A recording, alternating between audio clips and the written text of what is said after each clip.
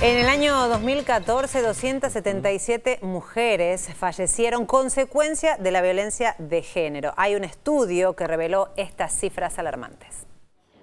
En este séptimo informe dirigido por la Casa del Encuentro, podremos observar el impacto directo que tiene la violencia en las mujeres, niñas, niños, en las víctimas colaterales y en toda la sociedad.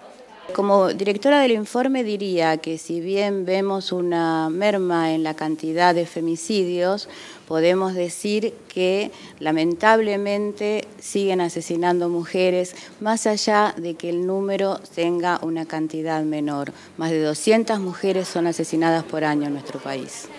En el capítulo de los derechos humanos, el derecho a vivir una vida libre de violencia sexista sigue siendo una asignatura pendiente a pesar de los avances.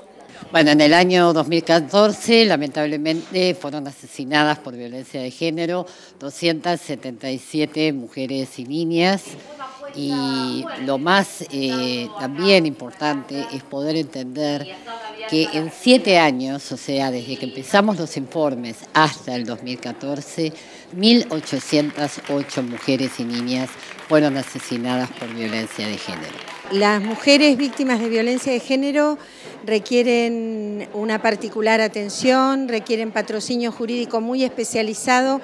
Muchas veces en el camino se mm, encuentran respuestas ante las denuncias, pero después cuesta mucho avanzar eh, en que esas denuncias eh, lleguen a un resultado positivo para la mujer y para sus hijos. Así que eh, la Defensoría está abierta mm, todos los días, por supuesto. Estamos en Piedras 445, primer piso. Allí las mujeres y, los chicos y, todas las víctimas de violencia de género tienen un espacio de escucha, de asesoramiento y de atención integral.